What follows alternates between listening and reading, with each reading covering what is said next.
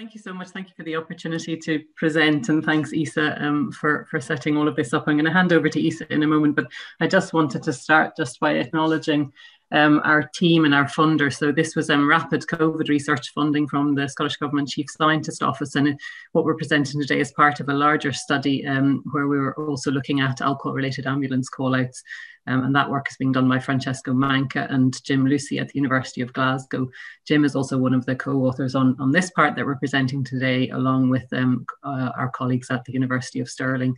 And we just also want to thank um, our colleague Ailey Sutherland, who uh, really supported a huge amount of administration for the study, as well as our transcribers, interviewees, and field workers. And that is the reference for the study. And we have no conflicts to declare, which we now do before all of our presentations. So I'll hand you over to Isa, who's going to take you through the methods, and then we'll talk about the results in a moment. Good morning, everyone. So you can hear me okay? Yeah? Um, so the rationale for the study, you might imagine, we were very interesting to find out um, how the measures and the guidance that were put into place to, to address the risk of transmission of the virus in licensed premises were going to work out, you know, in uh, in practice. Um, obviously, bars are interesting in that sense that distancing and protective measures may be less accepted in social spaces, and obviously, there's the element of, of intoxication, and that is another added layer onto that that was also interesting to us. Obviously, we, you know, as time progressed, there were outbreaks li linked to licensed premises that occurred worldwide. So this was a, a major area of interest. You can move it on, Niamh. Um, so this is the aim of the study to examine the management of COVID-19 transmission within bars upon reopening after uh, the lockdown, including business practices, behaviors of customers, and behaviors of staff. So the, the two main methods that we are reporting on today are interviews we conducted prior to the reopening of the, of the licensed premises with trade and other licensing stakeholders. And also we conducted in July and in August 2020 uh, some observations after reopening of, of the licensed premises. And these were done by pairs of field workers who were posing in covert observations as customers. There is obviously, as Niamh mentioned, a third part to the study led by uh, Professor Lewsey in examining alcohol-related ambulance call-outs before and after lockdown. So the interviews, we did uh, 17 interviews with 18 stakeholders. Important to note here that we interviewed all uh, or, or, the majority of, of relevant Scottish and UK trade association. These were people with very extensive experience, as you can see on the slides, um, and we also had other types of stakeholders, licensing lawyers, local government officials, police officers. Um, so there was quite a variety of stakeholders and very experienced stakeholders. The analysis of the interviews, which was done by my colleague Ashley, um, was thematic, and you can read more in the paper about the details of the analysis, um, how it was done. I'm conscious of time. sorry. So the observations, which uh, which I was mostly involved in, um, we had a sample, sorry, of 29 different bars across Scotland, which we purposefully sampled. Um, you can read in the paper, you have all the supplementary files as well. So you can see the kind of characteristics of the venues we, we aimed for and then the, the actual sample that we ended with. And there's quite a close match there. The field workers were recruited in, in as household pairs due to the restrictions. They were from extended household. Um, and they went into the into the into the premises for two hours. Uh, we had the way we the way we sampled and we used walkabouts and the field workers' knowledge and telephone calls to scope out the bars in the first instance using the criteria that we had around urban rural deprivation levels, venue characteristics, etc. And we then complemented this by online searches to ascertain that you know the venues met all our criteria, and and then kind of refine to our final choices. And if you can work, you can jump in if you think I'm forgetting something. Obviously, after after uh, in August 2020, these were these observations happened after the outbreak in Aberdeen that was uh, coming from from bars and pubs. So we then restricted our premises to those that were offering booking in advance so that our, um, our observers would have less of a chance of queuing and there would be less at risk, obviously. Um, so that's all explained as well in the paper. So these were semi-structured observations which were done covertly um, to minimize bias. Uh, we had trained our observers quite extensively over two two-hour online sessions on this on all the issues around their safety, data collection, reporting procedures. We had a template for them to to kind of fill in afterwards. Um, and we also did debrief uh, with our with our observers. And all the observation reports were written within the 24 hours after the observation, and it included quite detailed qualitative descriptions of all the relevant incidents um, that they had seen, whether of good practice or of concern. So uh, we structured our, our, data from the observation reports uh, into an Excel spreadsheet around all the categories we had observed, whether they were about venue characteristics, signage, ordering, and we had also accompanying uh, kind of qualitative notes extracted from the reports. And in the qualitative incidents part, the descriptions that the observer made of what they saw were analyzed thematically by underlying factor, whether they were more around system uh, failure or, or success, the types of behavior or the staff involvement, the level of intoxication that could be that could be judged. So these incidents were, were categorized as either potentially serious if they were repeated or continuous in nature, if they involved larger numbers of customers or, or mixing, for example, in between different households or different tables within a premise, and also if they involved staff the characteristics of the premises in which potentially serious incidents occurred were also reviewed. And of course, we, we should say that this should be judged through our qualitative lens. So it's more of a hypothesis rather than a, a definitive um, thing. And then I think I hand over back to Niamh for the results. Brilliant. Thanks, Isa. Super. Um, so, in the interviews which were conducted uh, prior to reopening, uh, our interviewees were waiting on government guidance for most of the time of the interview. So, they hadn't actually been issued with the guidance that would apply when they reopened.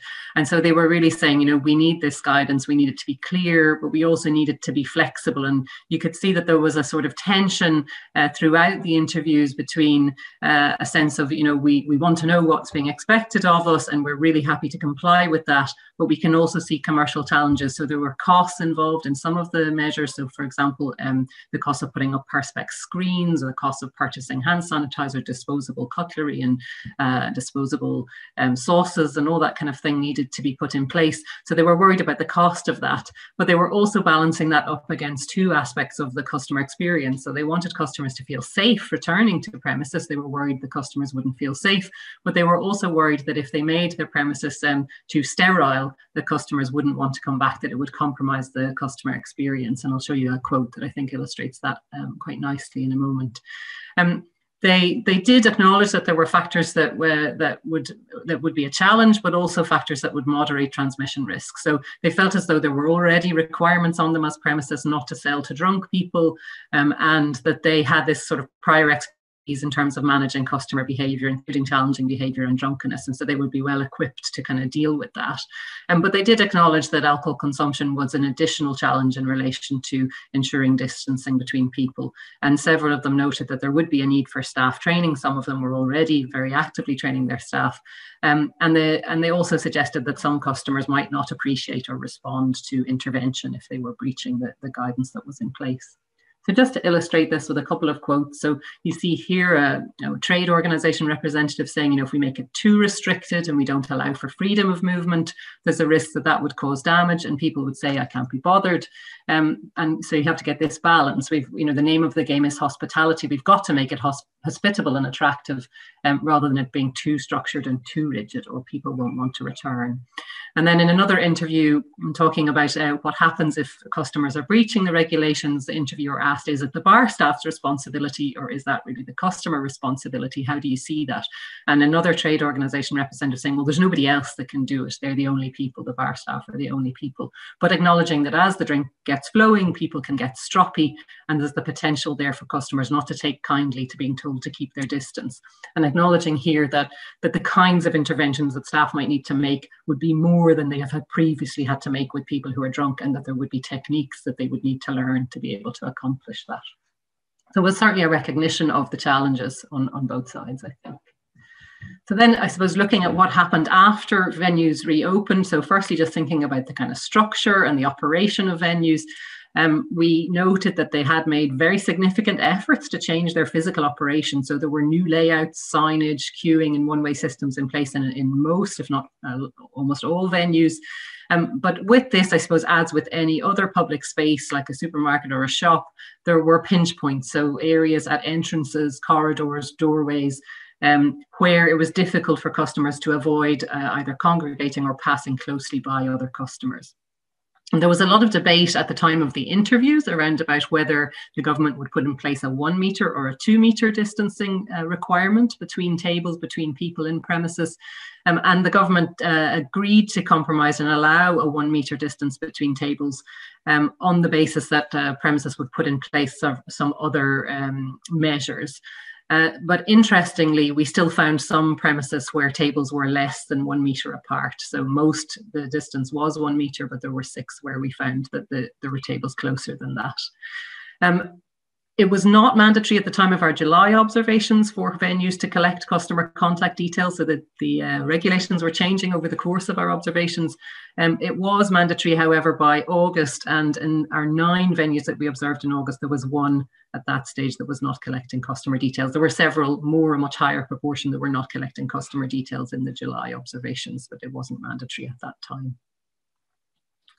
So in terms of uh, the operation, then just to continue with that, um, Again, something that became mandatory later was a requirement to only have table service, but at the time when we observed across the 29 venues, less than half of them were restricting customers to table service only. That obviously reduces problems in terms of queuing at the bar, which we did see problems with, with those sorts of queues in venues. Um, sometimes where the queues were sitting in the space, in the one meter space between tables, which then obviously meant that they were even closer together. Um, the, even looking at a very simple system like just having a sign on the toilet door, there were even less than half of venues that had even something as simple as that to limit the number of customers entering toilet areas. And we did observe some problems around, um, you know, customers ignoring even where that sign was in place, or more than one customer at a time from different households entering into very small toilet areas together. Um, and within those areas, there was few attempts to sort of, uh, say, for example, have you know every second sink uh, cordoned off so that people wouldn't be close together. That that also um, wasn't the case in most premises. So I suppose some of these things are similar to what you might find in in a cafe or in other public venues, what was maybe more interesting and specific to uh, venues serving alcohol was the observed incidents uh, where we felt there was um, a higher risk. So there was a very wide range of things that our observers noted as incidents, um, and they ranged in, in frequency and seriousness. So there were only three venues in which there was nothing observed um, in terms of, of any level of risk. And in most venues, there were multiple incidents. However, most of these incidents were simple or short lived. And it was in this uh, substantial minority of 11 of our 29 venues where we deemed the incidents to be potentially serious. So, either, as Isa said, repeated or continuous in nature with larger number of customers involved or involving staff.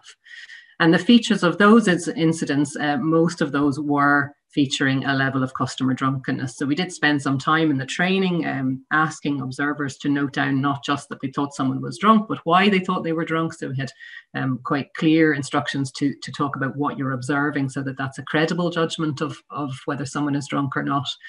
Um, but these kinds of incidents were, you know, just various combinations of singing, shouting, playing music. Uh, there was a requirement at the time to keep noise to a minimum so that people wouldn't have to shout because you emit more virus particles if you're shouting or singing. Um, singing wasn't allowed. And there was a, pardon me, there was a lot of mixing between groups. So, say people coming in and shaking hands with everyone else at a table, and then moving to another table and doing similar, and tables combining or recombining in various ways. There was an example of a customer taking a selfie with a member of staff and encouraging her friends to do the same. Um, and there was a lot of sort of uh, hugs and, and people sort of saying hello in ways that made it obvious they hadn't seen each other in a while, were very unlikely to be from the same household, and they were hugging each other. So there was um, ways in which it was easy for the observers to judge that people were not in the same household and were embracing others. So this just gives you one example of the incidents. Um, uh, the most interesting incidents are in the paper. Um, we we pushed the journal to allow us to have a massive table in the paper with these incidents. So um, hopefully, if you get a chance to access it, it's open access. You can read more of this. But yeah, an example here. You have got for starters, five men in their mid to late 20s. So, you know, you would wonder, are they all in the same household or extended household to start with? But they were drinking at a table for four. Um, you were allowed at this time to have two households mixing, but no more than two. Uh, and then you see that they're sort of moving around the bar. So two of the men stop and they start speaking to another table with a different household of two women in their early 20s, and they're leaning over the table and hugging.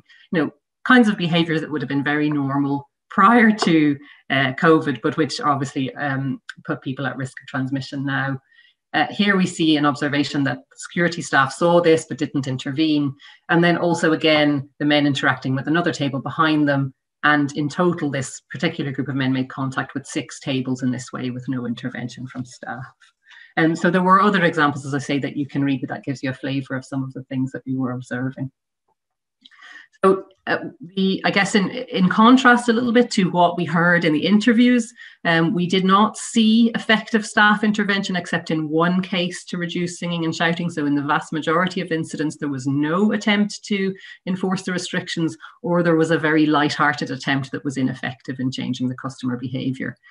And we did look at the common features of the 11 venues that had more serious incidents. So again, just the, you know, this is obviously qualitative, but I think it is interesting to look where there are very stark um, majorities in terms of common factors between them. So all but one of the serious incidents were venues with serious incidents were observed in the evening rather than the afternoon. Um, most were in a town or village rather than a city, which I think is interesting. Um, and uh, most of them were venues that allowed bar service, although there were three that did not allow bar service, and there were still um, incidents in those. Um, and again, in a majority, customers were judged to be regulars, so I think that we can maybe see the logic of why that might be a feature. Um, but we we expected, I think, that busier venues would show more problems, but um, and that may have been the case in terms of the more minor incidents. But actually, some of the, there wasn't a sort of common feature. There was quite a mix of levels of busyness in amongst these eleven venues, so it wasn't directly related to how busy the venue was. We think it was more related to the kind of culture of the premises, perhaps prior to the pandemic, in terms of how sort of social or pro-social it was. So just moving on then just to implications for policy and practice. Um, what I suppose the conclusion here is that the trying to reduce these risks, as with a lot of things relation to COVID, is that you're trying to modify long-standing norms of behaviour in what are essentially social spaces. So it's likely to be easier for premises that are more like traditional restaurants, where in the past people don't move between tables and they don't do that. But if that's the norm prior to the pandemic and people are coming back to those premises, then it's quite difficult and potentially to change those norms. And then when you have alcohol into the mix, then that not only uh, directly impairs customers' ability to judge distances and to hear, so that they might shout more and all of that. It also potentially affects their likely willingness to follow new rules. They may feel safer or less concerned. Um, and you know, I'm happy to chat if there's time about some of the reaction to this paper. There was a lot of reaction to this paper in the media, um, and we were, you know, we were often asked, uh, "Will it ever be safe for bars and pubs to reopen?" And you know, our, I suppose our answer would be, "Nothing is safe, but there sh- there should surely come a point when it is safe enough to reopen." Um, but there's a lot of factors that will impact on that, including obviously vaccination and, and lots of other things. Um, but the two sort of main points that we make in the paper are that um, we didn't observe any enforcement or monitoring of the rules. So in Ireland, for example, there is regularly figures published in terms of Garda, um, police inspections of licensed premises and how many offenders they find in their inspections of licensed premises. We've not had any reports like that in Scotland. Um, and uh, the sense is that there isn't the capacity within the system for that kind of enforcement. But of course, to provide that capacity is costly for for local government or for others or for the police. Um, the alternative, which we have had in Scotland, is where you have curfews or alcohol sales bans. Um, our data would suggest that those are likely to be effective in reducing risk, but obviously those are costly for premises and may mean that some premises feel that they cannot viably open um, with those measures in place. So there's no easy answers here, but I think it's um, it's weighing up all of the all of the options. And that's us. Thank you.